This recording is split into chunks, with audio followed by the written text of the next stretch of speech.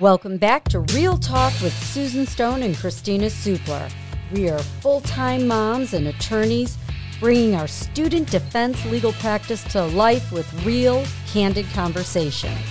Today, we are going to talk about the darling of our practice, and that is special education law. And I say it's the darling because even before you and I were law partners, I started the practice only dreaming about doing special ed. I still. Oh, how could there be life before us together? But there well, was. there was you and my three kids. Everyone says that, but there was. And it started with special education. And one of our guests here today, who you'll introduce, Tammie, I remember reaching out to her years ago when I was just a newbie trying to break in and create a name for myself and saying, Can I come talk about special education? And you were so gracious, Tammie, to host me to give a primer. And I look back then and I think, wow, what I, I wish I had the knowledge and the mileage of life experience and working with clients that I do today. But you got to start somewhere, right, Supler? That's right. So Today we're going to do a little special ed work. Why don't you introduce it? Today we are joined by Tammie Sebastian, Lisa Lutz, and Marbella Cáceres, who are all with the Ohio Coalition for the Education of Children with Disabilities, which is a statewide nonprofit organization that serves families of infants, toddlers, children, and youth with disabilities in Ohio. And they also provide services. OC E C D. That's a mouthful. That is a mouthful. Like all of special ed, alphabet soup, you say, right? Yep. They work through a coalition effort with parents and other professional disability organizations. They have individual members. It's been around since 1984 to help with parent training. And we are really pleased to be joined by three fabulous women today. Welcome. Hi. How are you guys? We're doing great. We actually just finished recording a whole speech for milestones for their conference. We did a virtual lecture. So we are just back to back today. But to start out, could one of you lovely guests explain what the Ohio Coalition for the Education of Children with Disabilities, OCECD, is, what you do, and what your given roles are within the organization? That's a mouthful, but you guys mm-hmm. can handle it. I'm sure Marbella is going to do that. And I'm sure, sure. she's mm-hmm. going to give you the correction on the mm. 1984 when she, so I'll hand it over to Marbella, but 1984 is when we became a PTI. Is that correct, Marbella? Yes, that is correct. Thank you. First of all, I want to thank you for the opportunity that you're giving the three of us to come and talk about the services. Our the most pleasure. important part, yes. As you mentioned at the beginning, the coalition has been around long, long time, early 70s.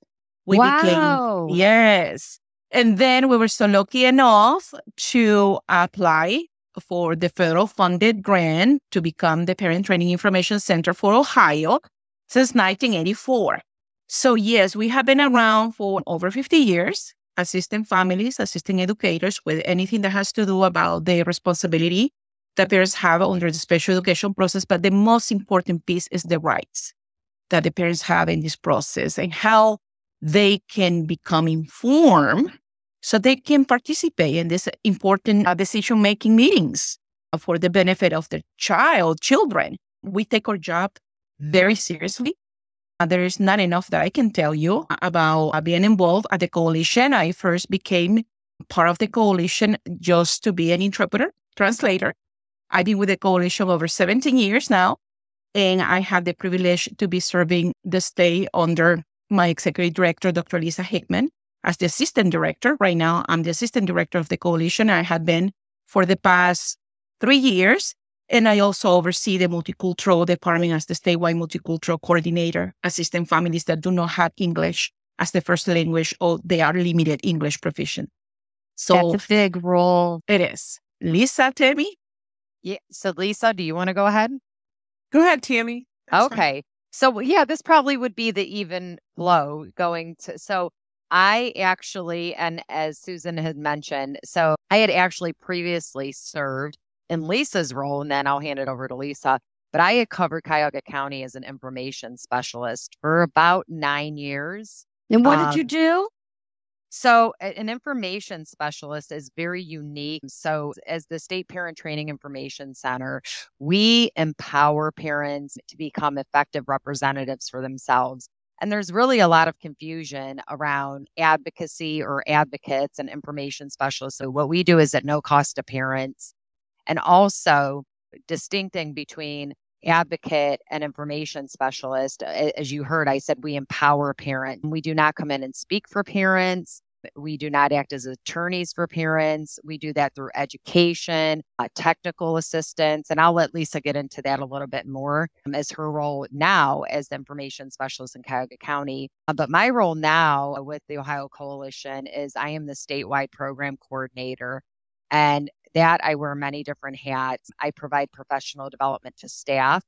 I also create and update trainings, look for hosts, and partner with different agencies to bring in statewide webinars. And also, we have a, a lot of project work that we do. We collaborate with the State Department of Education, the Ohio Department of Education, and many other agencies and do a lot of project work. We're working on some cross agency training right now with empowering families. Just we have so many things going on. And I don't want to take up all the time talking about all those things. I want to give Lisa an opportunity and maybe we could come back around to that. And then also a big part of my role is networking and building those relationships. And that is so that parents can have a seat at the table and that they can have a voice. So Lisa? Hi, I am Lisa Lutz, and I am an information specialist and trainer.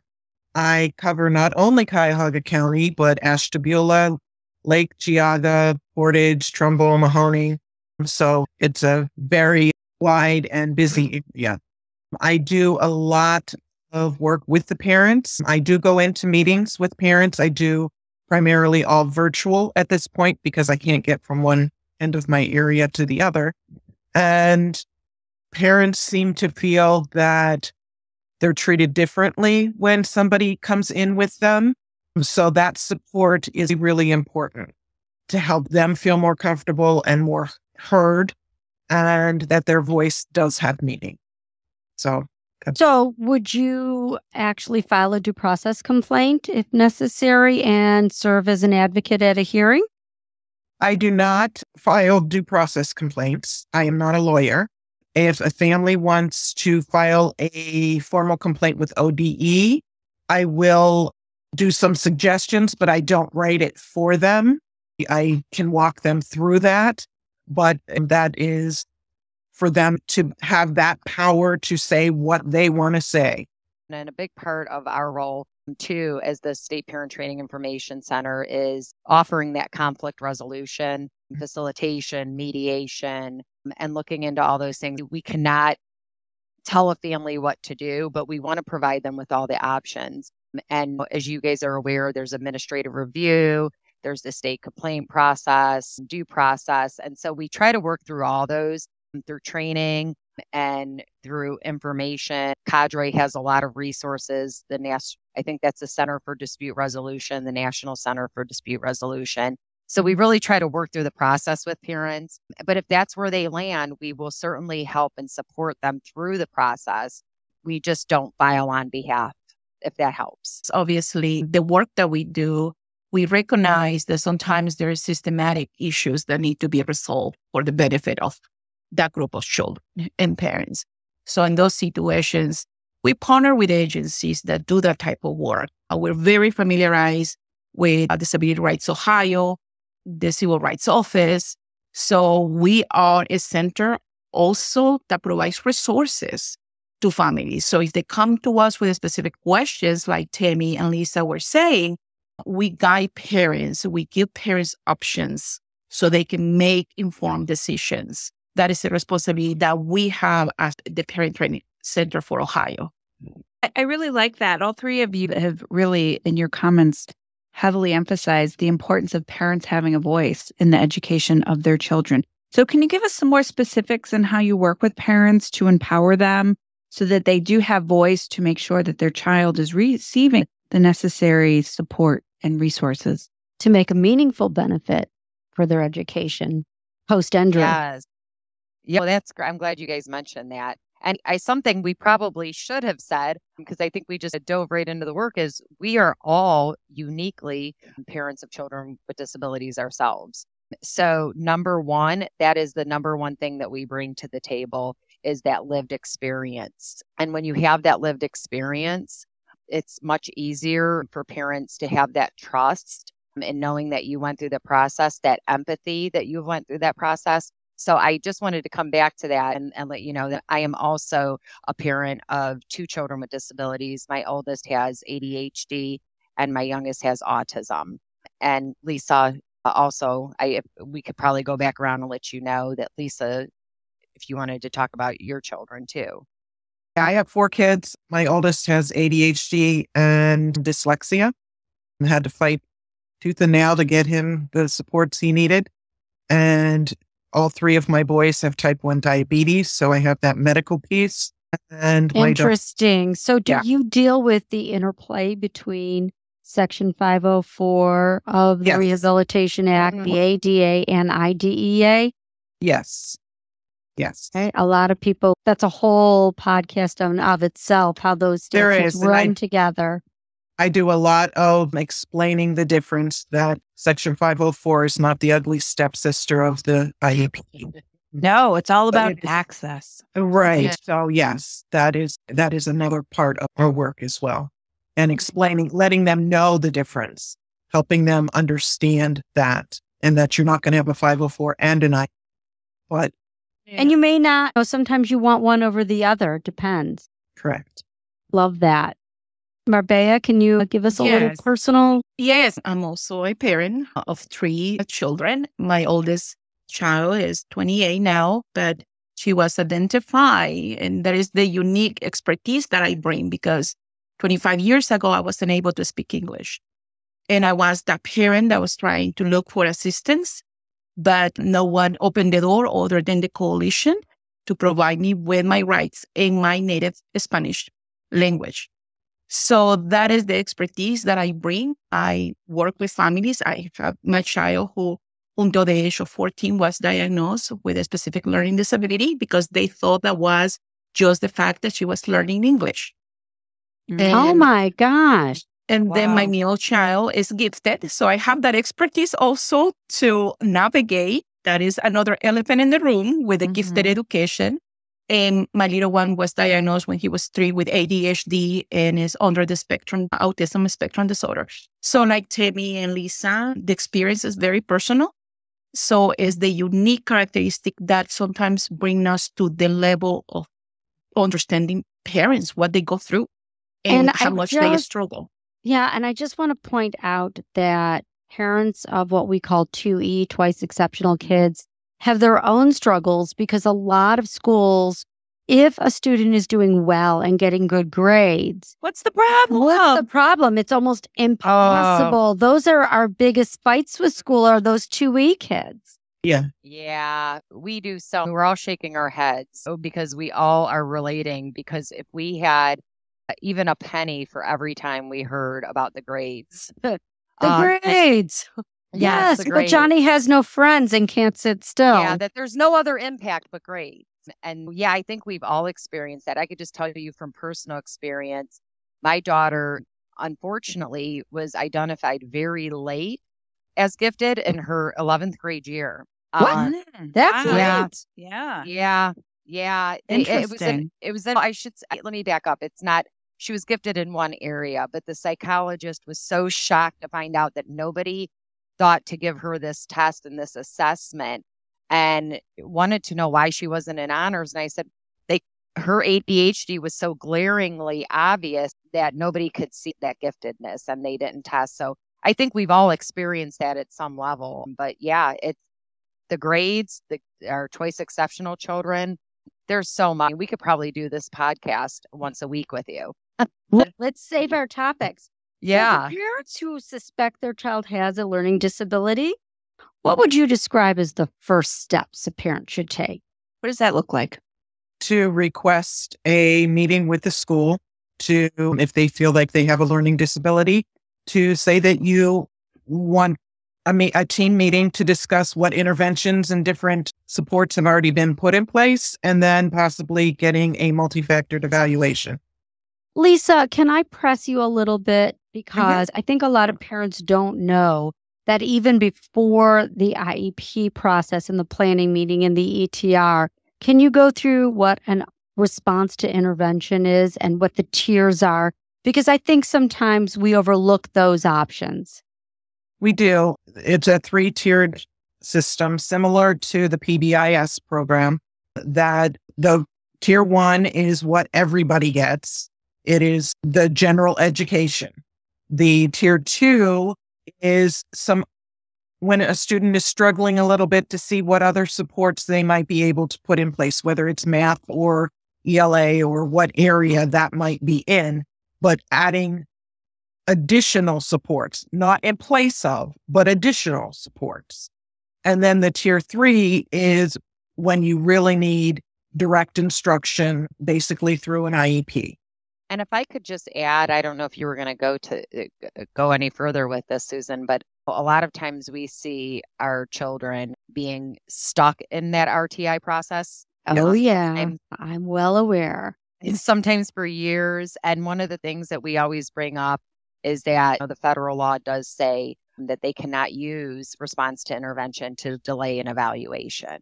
Um, and I think that's really important to talk about. And I always say, when we're supporting parents, I always say, you know, that's great. Keep collecting your data, but let's go ahead and evaluate. Keep go keep doing the response to intervention, but let's go ahead and evaluate. And I've And had right there- yeah. denials to evaluate because they're saying the response, the tier two works so well. Why do you need us to evaluate? That's Well- a goodie, huh? Yeah, I the, yeah. There the response to intervention, you're not going to have those through high school.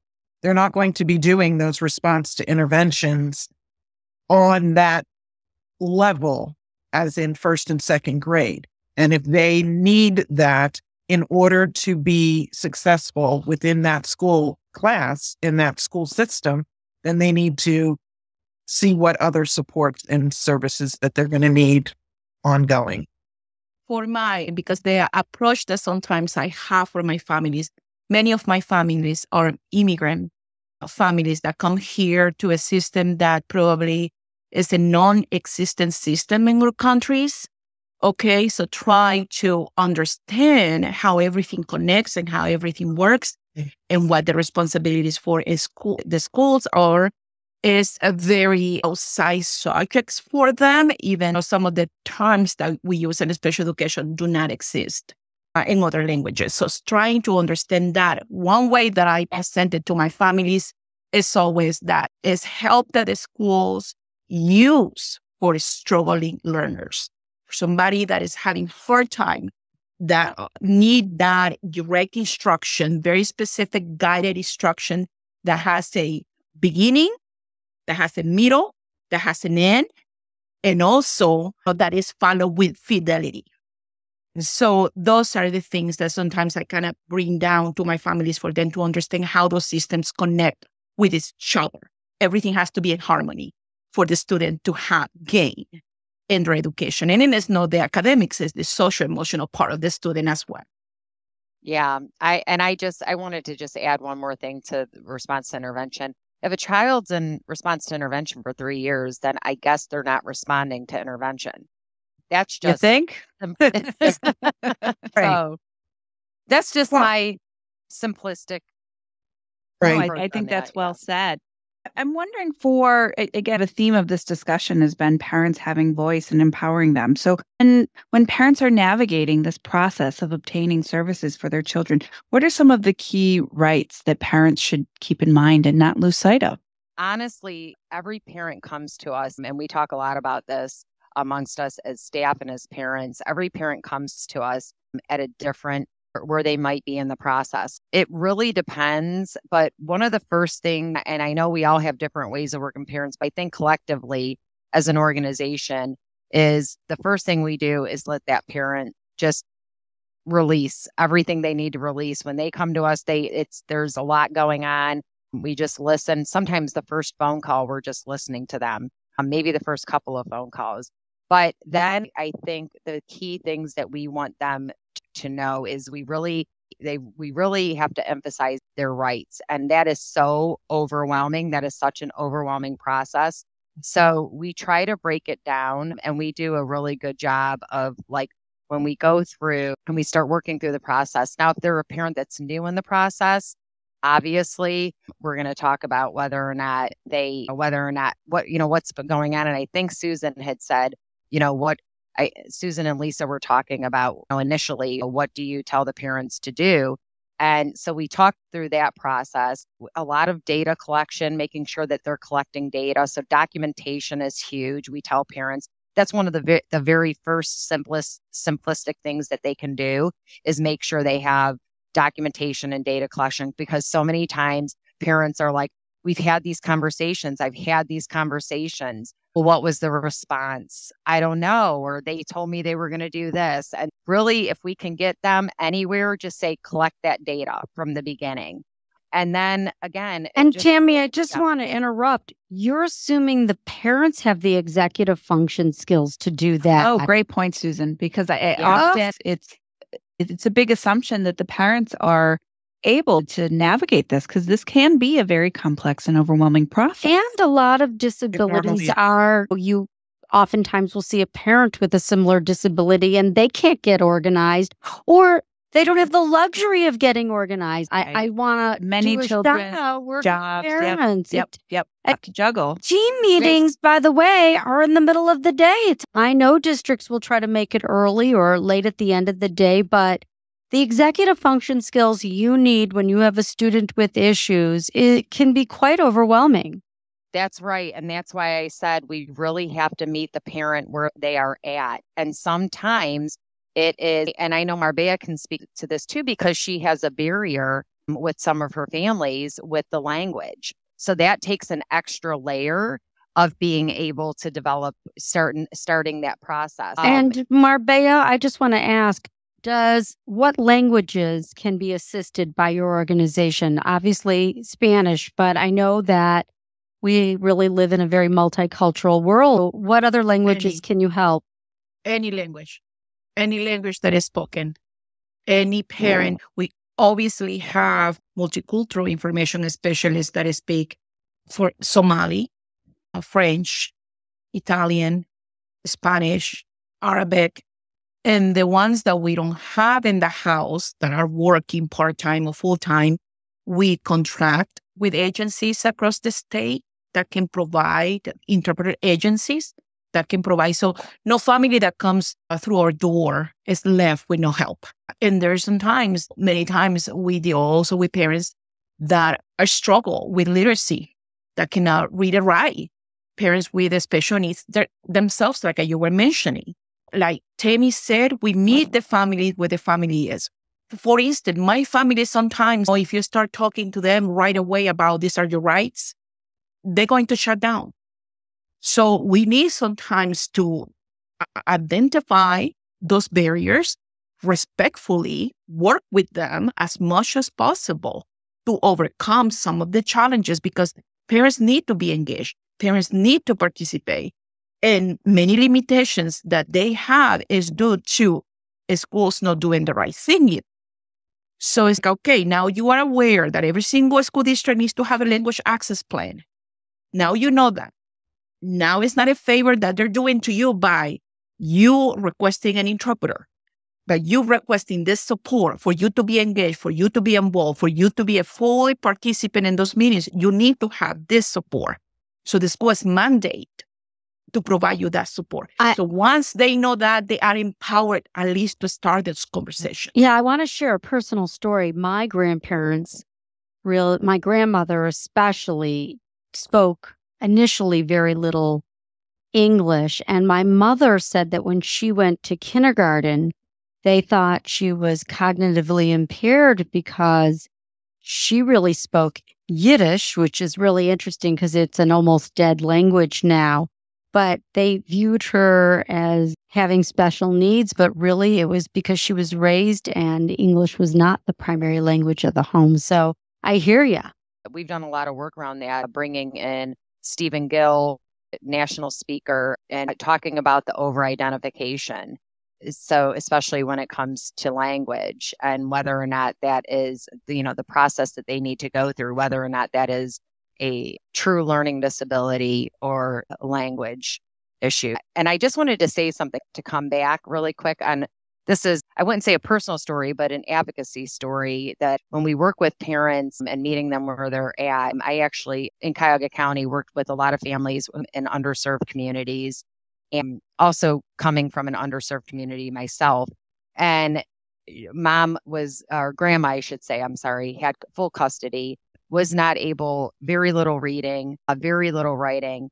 But as we walked through the process every step of the way, even though she was not actually writing those things or she was verbally telling me what to write how and she and even in the places when we started we had to go file a complaint and even then i did not take over for her i had her sitting with me and she was part of the process whether she was organizing papers whether she was just helping to tell the story along the way she was part of writing that complaint and it empowered her so much that she's gone on to actually be a great collaborator with the district she's in because they held her in such high regards after she fought so hard for her grandson. So I, I, I think it's even more important to empower those parents who might not be, who might not have those executive, who might have a disability just as their child. I think even more, I mean, I think that we talked a little bit about that, Marbella and I, about that empowering piece of just starting off with giving them where they're or meeting them where they're at, giving them what they need to get on to the next piece. That's a really nice uplifting story, Tammie. And listening to the, the three of you, you're a wealth of knowledge individually and even more so collectively. And so tell our listeners a little bit about how you collaborate with other organizations and agencies to advocate the needs for uh, the needs of children with disabilities at the state and national level. Ooh, so we got a really good I one. love it. Ooh, you got on. We have a Ooh, really big moment. I know, and I hope parents and professionals will be excited as well. It's no secret, but the Ohio Coalition was asked to partner with the Ohio Department of Education to look at our parent notice, which is our procedural safeguards. And our last parent notice was called a guide. And for those of you who really have been through the process of special education, they'll probably remember whose idea. And so the procedural safeguards have to have those. So those that's the parent notice, I and it has to be provided to parents and at an initial evaluation, when they request, when they provide consent, pretty much every time they turn around. And I have to tell you, and we're trying to get away from the stigma or the joking of you could probably paint your house with these because it takes away the seriousness of how important this document is. And so we got have been given the opportunity to partner with the department and rewrite uh, the parent notice and that started a year ago that process and there was rule revisions from the operating standards that needed to be changed every 5 years the Ohio operating standards go through a rule revision process. And we just completed that this week. We will be presenting it at the State Advisory Panel for Exceptional Children. How exciting!